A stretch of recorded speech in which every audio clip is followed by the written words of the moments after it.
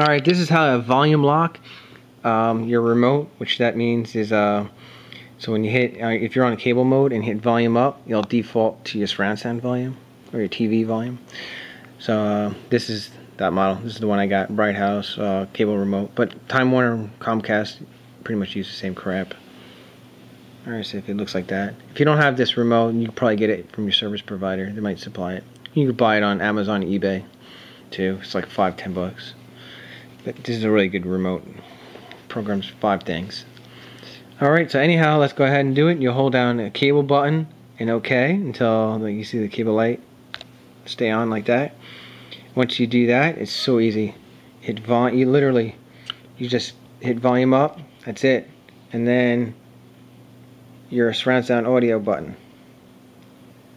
So now if you're on cable mode and hit volume up, See how it defaults to the surround sound volume? So,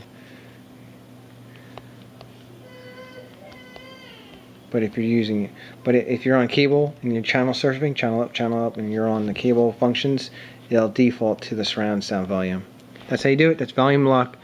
Um, post a comment, subscribe. Let me know if uh, there's anything I didn't cover, uh, and I'll do a video for you.